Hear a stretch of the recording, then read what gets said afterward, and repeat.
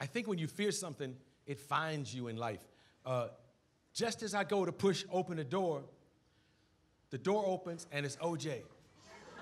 And I'm standing like this, and all the shit you said you was gonna say if you saw him, you know, I just asked that motherfucker, what up, killer? What up? You know?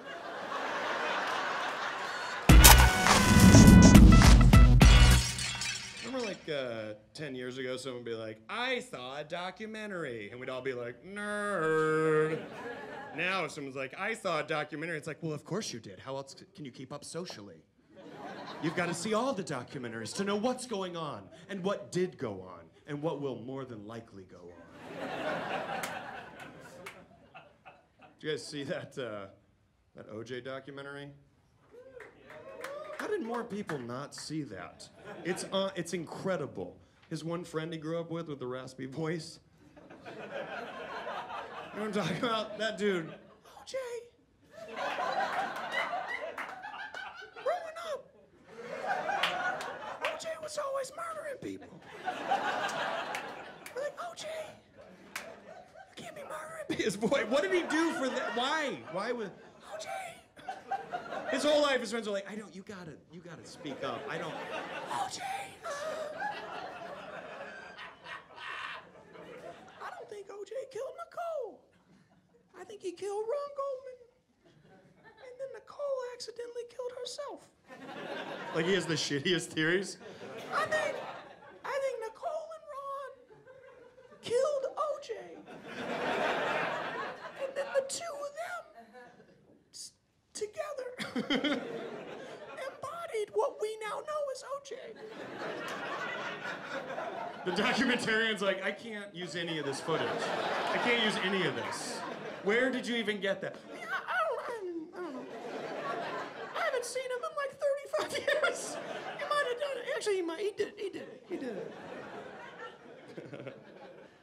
Colin Kaepernick, he caused a lot of consternation, man. Everybody's upset about that taking a knee thing, man. Even OJ weighed in on it.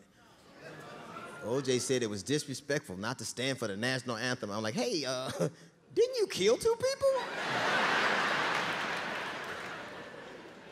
I mean, you and Ray Lewis are pretty judgmental for murderers. I'd rather take a knee than a knife. You gonna stand for the national anthem? You didn't even stop in a Bronco.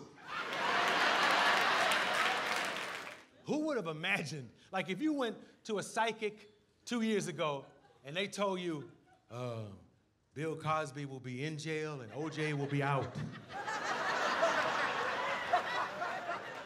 you would have said, Give me my fucking money back. You don't know what you're talking about. That's impossible. But here we are. I read an article where OJ said he wants to be a preacher. Yeah, that shit made me laugh too. Because if OJ preach, he have to preach the nine commandments, okay? that motherfucker don't know all ten. Come on.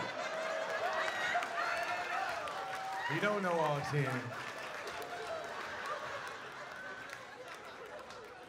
Anybody got a friend that always got negative shit to say? To the point where you almost try to avoid them? Anybody? Yes. Ooh, let's talk about them motherfuckers. Just people that, you know, you could say hi first and beautiful day out, but they start conversations with, you know who got chlamydia? You know, stop, man, stop. the fuck you bring that to me for, you know? But he said to me, um, out of the blue, yo, man, I didn't know OJ didn't like you, bruh. And I'm like, what? Th- th- This is the, the butcher of Brentwood you're talking about, okay? Don't tell me this motherfucker don't like me. Somebody who's been accused of cutting off heads and shit. Don't tell me this motherfucker don't like me. Nah, that's in me. I can't stop thinking about that now. I went to Vegas. And apparently OJ lives in Nevada now. Okay, I walk in a restaurant with my girl. After my show, we go to have a steak, and uh, I seat her, and then I go to the bathroom because I'm over 50. And uh, yeah, some of you know what I mean. You have to pee all the fucking time when you're over 50. All the, there are times when I pee, And then I'm washing my hands and I say, hey, I have to pee again.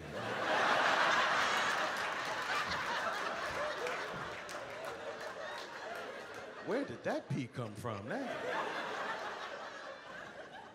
So I'm going to the bathroom, and I think when you fear something, it finds you in life. Uh, just as I go to push open the door, the door opens and it's OJ. And I'm standing like this, and all the shit you said you was gonna say if you saw him, you know, I just asked that motherfucker, what up, killer? What up? You know? I didn't say none of that shit. I'm, I'm, gonna tell y'all exactly what I did. My hand was like this, and I said, ooh, juice. That's, that's exactly what I did. I don't know what the fuck got into me. I've never said ooh, juice in my life. I, I've been at Jamba and not say ooh, juice. he scared the shit out of me. I went from Arsenio Hall to Rue Hall.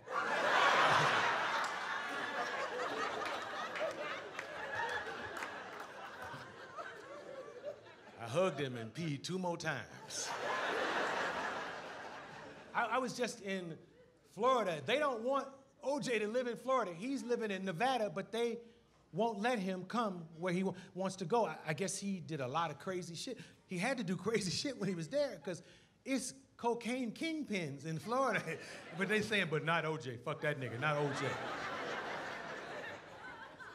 they won't let OJ come down there. I read stuff I didn't even know about. I guess when he was there, he had a road rage incident, you know, where OJ was on the freeway and somebody gave him the finger and he followed him because OJ loved a chase. Uh,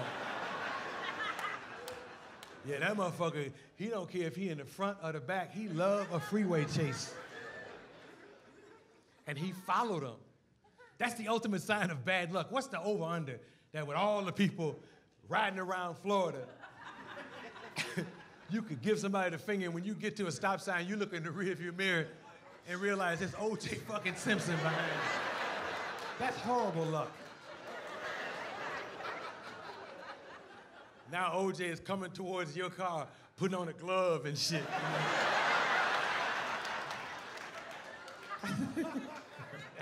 Motherfucker dropping socks and Suddenly your mirror says, this nigga's head may be larger than it appears and shit. the juice. He ain't OG like he used to be. It ain't like the, the commercials in the airport. That motherfucker's PJ now. He's prune juice. That motherfucker needs. If the light change, he might not get to your fucking car.